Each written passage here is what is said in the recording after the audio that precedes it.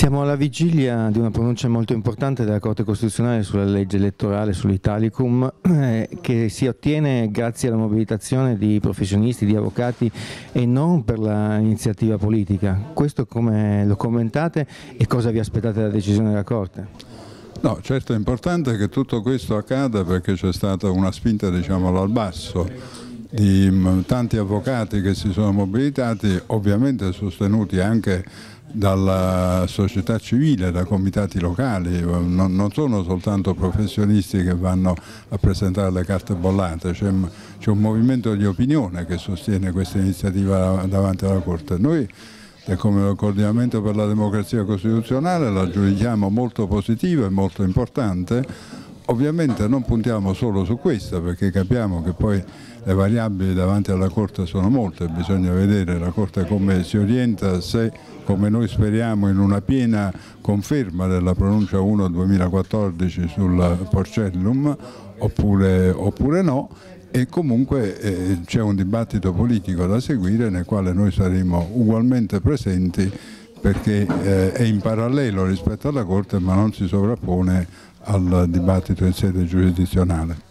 In questi anni si sono costruite leggi elettorali ad hoc per gli interessi politici immediati, si dice addirittura che l'Italicum in fondo non dispiaccia al Movimento 5 Stelle quando invece il Movimento 5 Stelle si batte per il no alle riforme costituzionali. Come si può fare una legge elettorale che invece serva al Paese e alla democrazia e non all'interesse immediato di qualcuno come il Presidente del Consiglio o l'opposizione attuale? Guardi, questa legge elettorale è stata fatta nel modo peggiore possibile perché è stata fatta dichiaratamente nell'interesse di quelli che allora erano i due maggiori partiti per eh, semplicemente far fuori i piccoli partiti, i partiti fastidiosi, l'hanno detto, eh, è stato dichiarato dire, con unanime consenso dal, nel patto del Nazareno da, da, Renzi e da Berlusconi nel momento di stipularlo. Non si fanno leggi in questo, in questo modo e anche il discorso sui 5 Stelle non va bene perché allora i 5 Stelle potrebbero volere eh, l'Italicum nel momento in cui stanno un punto in sopra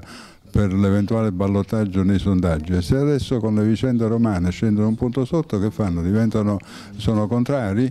È chiaro che non si fa così una legge elettorale, la legge elettorale deve guardare ai, ai valori permanenti, per così dire, la rappresentatività, se si vuole anche la governabilità, ma non di chi in quel momento governa in quel momento comanda. Quindi deve essere una legge che consente, che riflette il Paese, che lo rappresenta, che consente alle voci presenti del Paese di esprimersi e che consente lo sviluppo del sistema politico senza forzature. L'Italia come il contrario di tutto questo, per questo non va bene. Voi volete una nuova legge, ma pur un Parlamento la deve approvare. Preferite che ritorni in vigore il Consultellum, eh, un proporzionale puro? In altri paesi, quando si è arrivati a questo, mh, mm, questa questione, come in Spagna, non si riesce a trovare una, un governo. Eh, chi, quale legge dovrebbe eleggere un Parlamento legittimato a fare una legge giusta? Guardi, forse lei non sa che la, che la, legge spagnola vigente qualche anno fa fu presa a modello del top delle leggi elettorali che andava adottato anche nel nostro paese da chi oggi sostiene l'Italicum. Oggi è chiarissimo in Spagna che nessuna legge elettorale garantisce la governabilità al 100% e soprattutto garantisce che la sera che si vota si sappia chi vince. Questo è purtroppo il mantra che ci ha rovinato perché ci ha, ci ha condotto su una strada senza uscita dalla quale adesso, adesso ci, ci, troviamo. Io personalmente da, da, molto, da molti anni sono favorevole a un sistema come quello tedesco che mi pare garantisca assolutamente stabilità ed efficienza del sistema dove ovviamente nel momento in cui le cose sono, eh, si sono evolute politicamente hanno fatto una grande coalizione e la mandano avanti senza rammi. Poi arriveranno, supereranno questa fase e torneranno a un sistema di alternanza, di alternanza bipolare e bisogna fare leggi e avere istituzioni che consentono l'elasticità e il cambiamento, perché sennò qualunque altra scelta finisce con l'andare della storia ad essere la scelta che porta il Paese a sbattere. Infine, eh, questa legge elettorale sarà mm, giudicata sulla costituzionalità.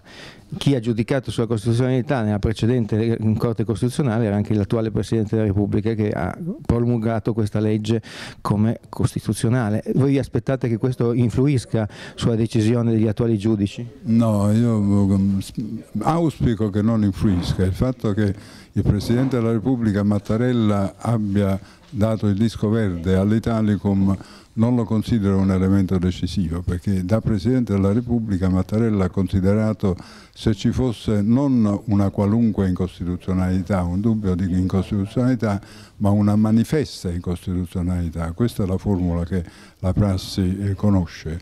Quindi in questo senso si può dire che non ha riscontrato un vizio di tale immediata evidenza da giustificare un rifiuto di promulgazione. Il fatto che abbia dato il disco verde non dovrebbe incidere in corretta, un corretto svolgersi del rapporto istituzionale su quello che la Corte Costituzionale deciderà.